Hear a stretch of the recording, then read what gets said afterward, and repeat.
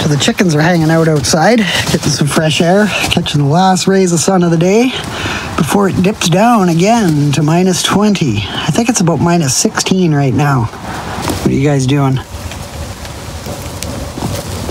Well, guys, we are officially into the grips of winter now.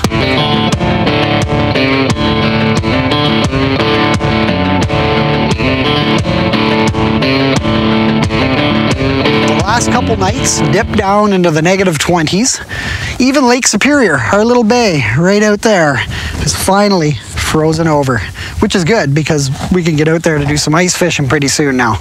But let's take a quick little look at our winter greenhouse, see what's growing, and what our plans are until spring arrives and we can start planting in the gardens.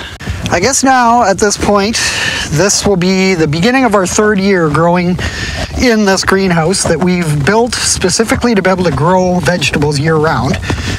Last year, we weren't terribly successful. We did grow some lettuce and things like that for a little while. So last fall, we were prepared, a little more prepared, and we had plants that we had started specifically to move into the greenhouse to grow over the winter. So maturing or mature plants. Those included celery, kale, some peppers, but we've almost exhausted what we can get out of those plants. So now it's time to beef things up in there, get some new seeds started, and see what we can grow moving forward. It's the beginning of January right now. Here is our little winter greenhouse. It's about 9 feet by 12 feet. As I mentioned, it was built with reclaimed lumber from a cabin on the property. The greenhouse has 2 by 6 framing, and everywhere that you do not see a window has been insulated for that full 6 inches and sealed in with spray foam and other types of insulation that we just came across or had laying around the property. So let's go inside and see what we have growing on.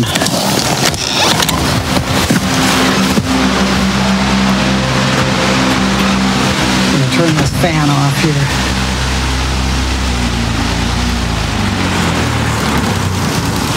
There we go, that'll make it easier to talk. It's nice and warm in here at the moment, between 20 and 22 degrees, depending on the sensor you're looking at have various sensors around the greenhouse here. One in the corner back here. Here's another sensor down here leaning right up against the window. And the reason I have various sensors is because I want to be able to measure where the warm spots and the cold spots are in the greenhouse. And a big part of the reason for that is where to put this thermostat. We're primarily heating with wood in the greenhouse. This particular stove is extremely oversized for this greenhouse. It's massive. That's what you want. You want a giant heat bank inside the greenhouse. It's daytime, so I just have this smoldering right now because the sun is shining in. But comes to overnight, we're running this electric heater for backup. This backup heater gets turned on by this thermostat.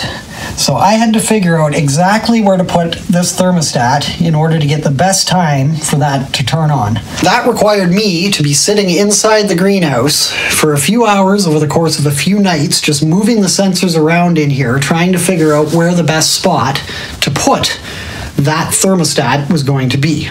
On a day like today, when the sun is shining bright, you don't need to feed the stove at all. The greenhouse takes care of that itself. It captures all of that sunlight and converts it into heat.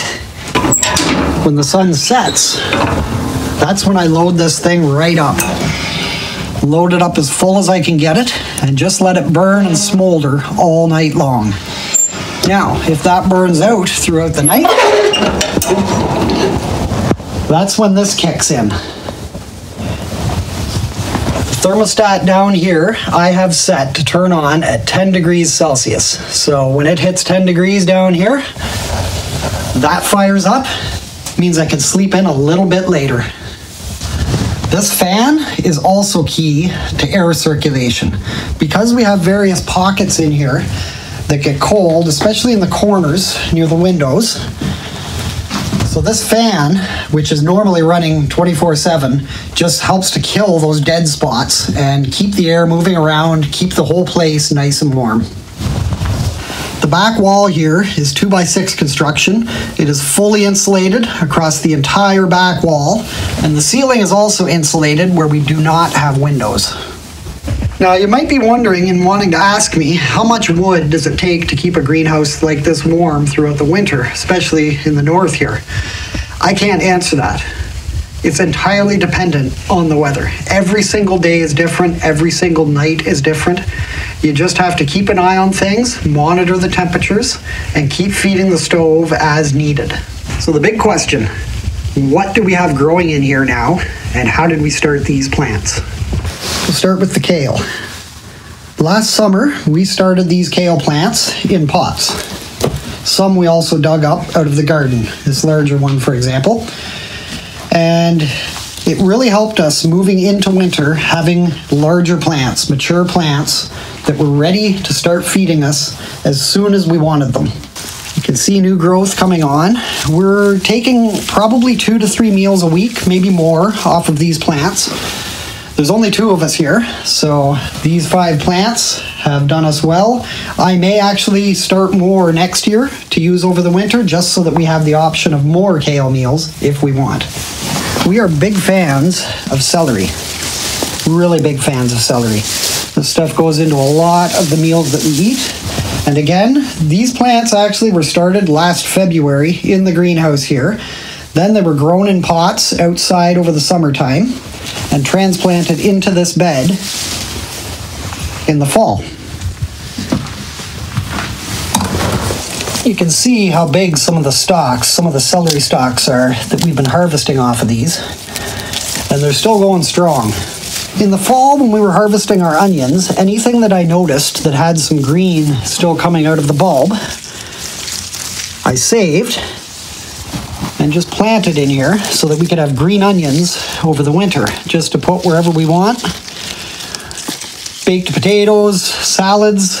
So I just scattered these onions all throughout here, all over the place. Some in with the celery here as well. Lots of green onions for us. This bed here previously had potted pepper plants that we moved in that still had some green peppers on them and were basically finished fruiting for the year, but the peppers hadn't entirely ripened. So we managed to continue harvesting peppers off of those plants. These are the last of those peppers that I just finally harvested. So these will take us through for another week or two, maybe, if they last that long in the fridge. They're mostly hot peppers. I had originally planned to overwinter those pepper plants, but they just were not doing well at all in here. I'm not sure. I got to do a little bit more research on overwintering pepper plants but they just withered and started to die and i figured i could get much better use out of the bed over here so that's what i'm going to be planting very soon so very soon in this bed i'm going to be planting some lettuce and some swiss chard and some other just some various salad greens so that we have a nice little bed of salad plant here that we can just come and pull from whenever we want i'll probably put some radish in here as well I should note also that I'm going to be installing lights in this area. Sunlight at this time of year is going to be your biggest defeating factor when you're growing inside of a greenhouse. Just with the angle of the sun being really low at this time of year, as well as the shortened daytime sunlight period, lighting is the biggest problem. To show you what I mean, this is all romaine lettuce that I planted in here close to a month ago. You can see how stringy it is. It's very laggy.